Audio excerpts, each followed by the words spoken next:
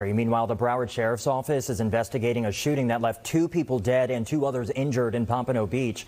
NBC6 reporter Julia Bagg live from Broward Health North where those surviving victims were taken. And Julia, we understand you have your you got your hands on some new surveillance video.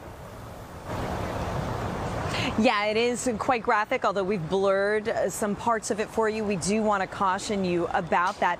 Broward deputies this afternoon staying tight-lipped about exactly what happened and the conditions of the two people who survived who were brought here to Broward Health North last night.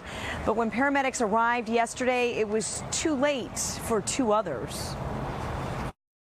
Surveillance video captures the panic and the gun smoke outside a Pompano Beach convenience store last night. People dashed for cover, but for some, it was too late.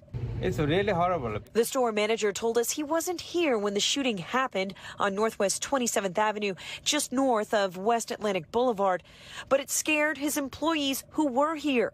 Tore, they broke my glass, window, everything. After the smoke cleared, an injured man hobbled into the store.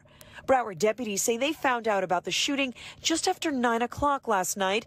When they showed up with paramedics from Pompano Beach Fire Rescue, two people were dead and two more were injured.